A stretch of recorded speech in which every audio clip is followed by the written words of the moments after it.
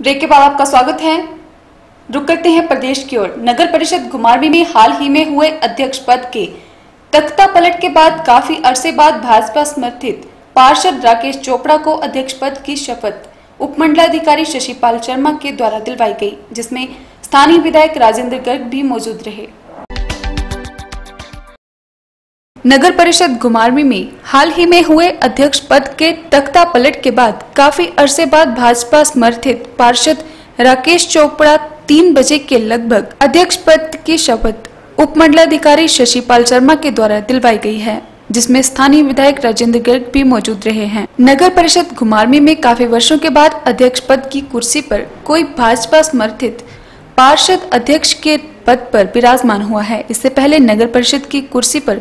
कांग्रेस समर्थित पार्षदों का ही कब्जा रहता था। अप्रैल महीने में कांग्रेस समर्थित अध्यक्ष गीता महाजन के खिलाफ कांग्रेस पार्टी की ही पार्षद व नगर परिषद की उपाध्यक्ष ने भाजपा पार्षदों के साथ मिलकर अविश्वास लाया था, परंतु गीता महाजन ने विश्वास मत पर चुनाव होने से पहले ही इस्तीफा दे दिया था, जिसके बाद ये पद खाली चल रहा था। लगभग दो सप्ताह पहले अध्यक्ष पद के लिए चुनाव हुए थे, जिसमें निर्विरोध रूप से भाजपा समर्थित राकेश चोपड़ा अध्यक्ष पद की कुर्सी पर काबिज हुए थे। नवनिर्वाचित अध्यक्ष राकेश चोपड़ा पत्रकारों से बातचीत करते हुए बताया कि नगर परिषद में विकास के नए आयाम छुए जाएँगे और घुमारमी नगर परिषद को आदर्श नगर परिषद बनाया जाएगा। नगर परिषद के अध्यक्ष की कुर्सी पर राकेश चोपड़ा जैसे ही वरिष्ठ अनुभवी और समाज सेवी का अध्यक्ष पद पर विराजमान होना घुमारवी नगर परिषद वासियों के लिए एक सुखद संदेश है।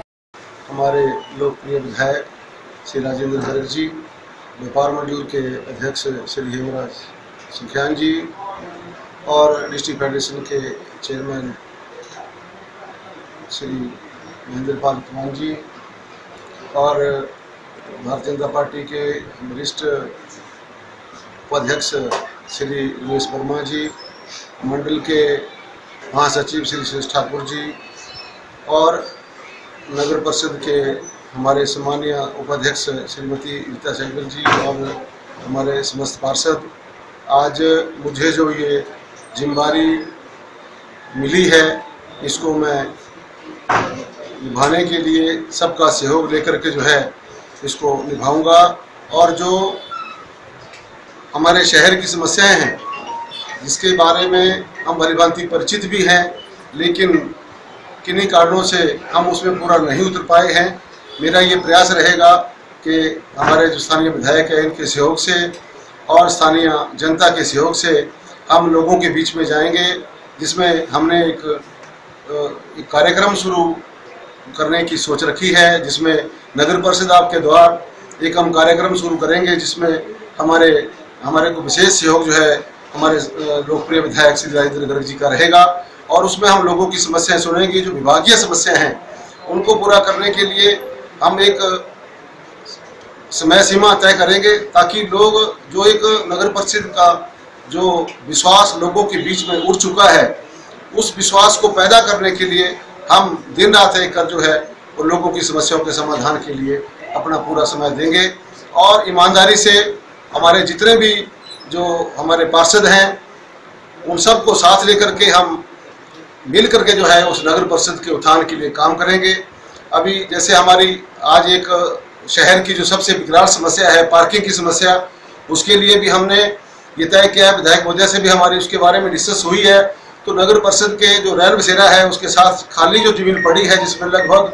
सत्तर अस्सी गाड़ियों की पार्किंग का एक निर्माण के लिए हमने एक स्थान चिन्हित किया है, उसको भी बहुत जल्दी जो है उसका शिलान्यास मान्य विधायक महोदय से करवाया जाएगा। और एक जो प्रवेश द्वार है, ताकि लोगों को लगे कि हम नगर परिषद बारहवीं से गुजर रहे हैं तो वहाँ जो हमारा प्रवेश द्वार है, एक पट्टा में और एक अबढाणी घाट में स्थापित किया जाएगा, जिसके लिए हम एनटीपीसी से, के माध्यम से धन का प्रावधान करवाने का प्रयास करेंगे। और इसके अलावा एक सबसे बड़ी जो समस्या जो बाईपास की बात करते हैं शहर के लिए उसके लिए हमारे विधायक महोदय पहले ही प्रयासरत हैं जो एच के माध्यम से एक रोड निकलने का प्रयास जारी है। इसके अलावा जो हमारा लगभग सत्तर वर्ष, साठ सत्तर वर्ष पुराना एक हमारा रोड जो रैन बसेरा से मेला ग्राउंड से होता हुआ बड्डू से सीधा सीधा रेस्ट हाउस एनएच पे मिलता है। हम उसके लिए भी पीडब्ल्यूडी विभाग से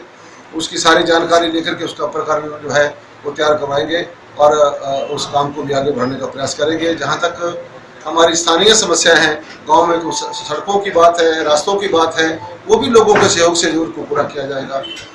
इस मौके पर नगर परिषद के सभी पार्षद व व्यापार मंडल के अध्यक्ष सहित कई गणमान्य लोग मौजूद रहे।